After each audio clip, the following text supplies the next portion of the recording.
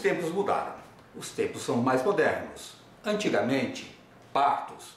Na época da minha avó, ela ganhou todos os filhos em casa.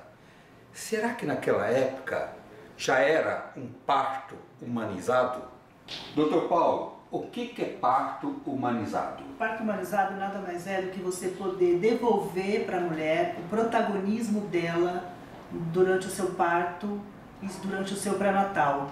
Nada mais é do que você construir com essa mulher, com esse casal, ao longo do pré-natal, o que a mulher gostaria que fosse feito com ela ou não durante o trabalho de parto, é dar o poder de autonomia de decisão para esta mulher, junto com o médico, uma, uma decisão corresponsável entre médico, parteira ou parteiro e a paciente, a família, das coisas que poderiam ser feitas ou não com a mulher durante o trabalho de parto, o que ela gostaria é, o respeito que ela gostaria de ter ou não durante o seu trabalho de parto. É muito importante ter sempre o acompanhamento de um médico, né? Então, não necessariamente. Uma, uma, uma paciente de risco habitual, ou seja, uma, uma gestante de, de baixo risco, ela pode ser acompanhada por uma enfermeira obstetra ou por uma obstetriz, ou até mesmo por um médico da família, além do, do próprio obstetra. Pois é, mas para que ela é, fica mais tranquila, ela não é sempre importante ela primeiro passar para o médico para ver a situação da gravidez dela, se ela pode realmente fazer um parto humanizado? Ah, André, é, o médico vai ajudar dando informações para ela com relação, é, esclarecendo primeiro de tudo o que é um parto humanizado para essa gestante, né? Porque é, existem muitos mitos com relação ao parto humanizado. Por exemplo, a maioria das pessoas ainda hoje acham que parto humanizado é um parto feito em casa. Não é isto. Né? É, a classificação de risco desta mulher, se ela pode ou não ter um parto em casa, por exemplo, ou mesmo um parto domiciliar, um parto hospitalar, é, essa questão de risco pode ser feita também por uma enfermeira bem, bem, bem informada, tanto por um médico obstetra também. O médico geralmente ele indica é, é, essa profissional para fazer esse parto? O, o médico em geral, se, se, o desejo da paciente for ganhar em casa, hum. é, existem várias equipes de parteiras que podem ser indicadas tanto pelo médico, mas na grande maioria das vezes a própria mulher vai em busca de uma parteira se o desejo dela for ganhar em casa. Olha, mas é muito importante também, né, doutor? É, hoje as coisas mudaram, hoje tem informação, né? Informação. É. Então, veja bem, você tem que ser uma pessoa preparada.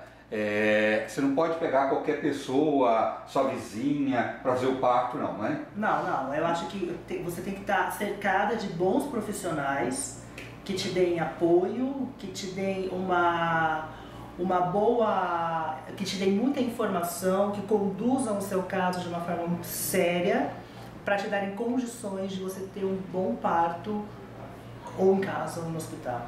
Sim.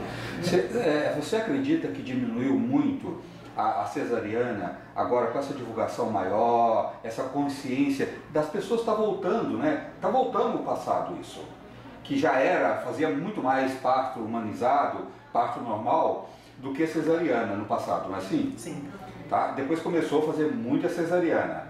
Você acha que com essas divulgações agora, essa consciência que as pessoas estão tendo, está é, tá voltando o parto humanizado? Eu acho que é, com informação e com essas mudanças de paradigmas é, da, das mulheres buscando o entendimento sobre o seu próprio corpo, sobre a, filo, a fisiologia Conhecer do parto, Conhecer seu corpo melhor. Né? Conhecendo o né? seu corpo melhor eu acho que a tendência vai ser a diminuição das taxas de cesariana.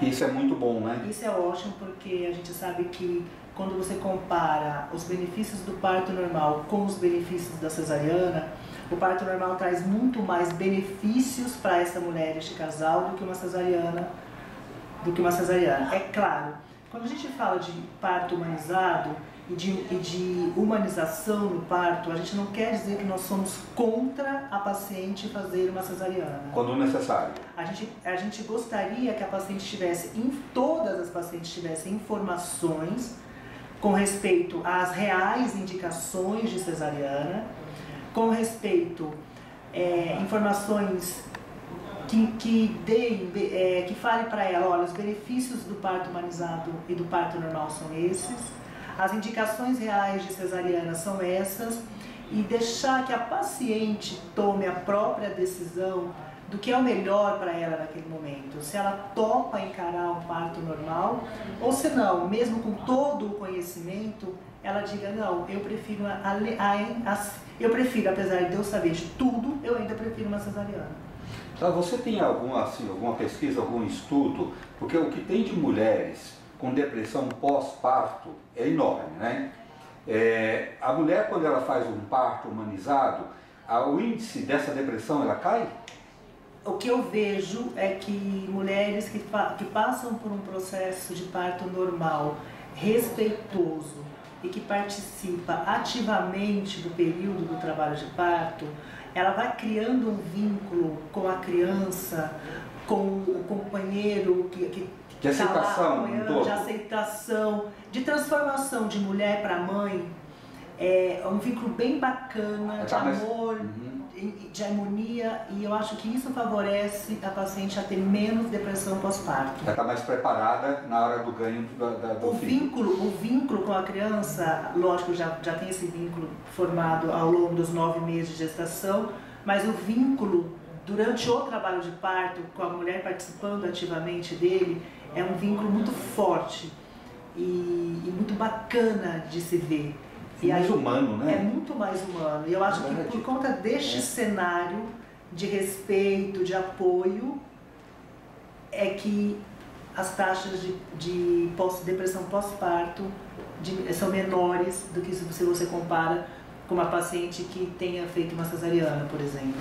E outra coisa, a mulher, quando ela faz a, a, a, o parto humanizado, então tem todo um processo, ela já tem uma preocupação maior de ter uma alimentação mais equilibrada, a prática de atividade física, Sim, né? Ela, ela então psicologicamente ela fica muito mais preparada. Né? Ela se prepara melhor porque ela, ela, ela tem uma consciência corporal, uma consciência, uma consciência do próprio corpo e ela entende que o parto faz parte da fisiologia, da, é, o parto normal faz parte da fisiologia da mulher, assim, a mulher é capaz de dar a luz de parto normal. É que ao longo do tempo, eu acho que a mulher foi minada na sua autoestima em relação ao seu próprio corpo, é, com relação a ela poder ou conseguir ou não um parto normal. E tem muito esse negócio, doutor, assim, já coloca na cabeça das mulheres. É a pior dor que tem, é a dor do parto. Isso é verdade? A, a dor é uma coisa muito subjetiva, né? A dor é muito é, pode ser uma, a dor pode ser uma, significar uma coisa para mim, pode significar uma outra coisa para você. O que, o que tem que ser feito é que a, essa dor tem que ser desmistificada. Né? Não é a pior dor do mundo. Uhum. Essa dor não, não vai causar nenhuma, nenhuma lesão, nenhuma morte. Muito pelo contrário, essa dor é uma dor que traz a vida, é uma dor que está significada e associada ao nascimento. Então eu acho que ela tem que ser desmistificada. Dói, dói mesmo.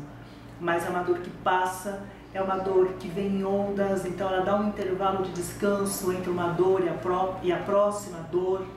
É, é, uma, é uma dor que favorece que a mulher tenha conexão com o seu filho e que vai trazer um benefício muito maior que é, no final, que é o nascimento dele. Né?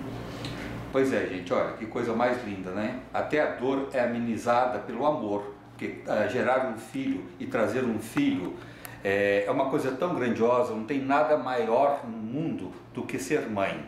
É, eu queria agradecer ao Dr. Paulo e eu queria também que você deixasse, quem quiser encontrar você, conversar com você, é, fazer uma consulta, como é que te encontra? A sua rede social, tem algum? Eu tenho um site que é www.paulonoronha.com.br e podem ligar no consultório qual que é o telefone? 50930415. É 011, né? 011. Repete, por favor, doutor. É 011 5093 0415. Pois é, um abraço a todos. Espero que vocês tenham gostado. Faça parto humanizado. Um abraço.